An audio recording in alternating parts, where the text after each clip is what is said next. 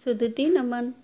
Today I am going to solve the true or false from chapter 5. So let's start. Question number B. State true or false. Number 1. The shift key is not used to cancel the search.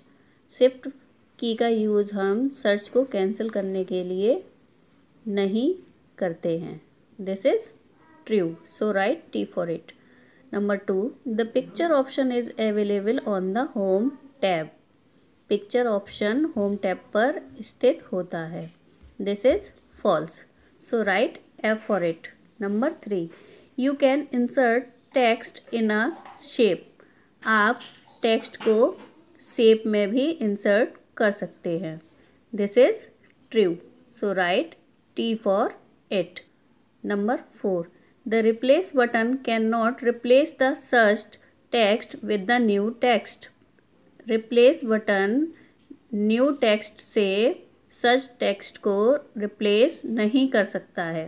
This is false so right F for it number five the borders and shading button is available on the page layout borders and shading button page layout पर स्थित होते हैं। This is false. So write F for it. Dear students, do the true or false on your computer book and learn them. Goodbye.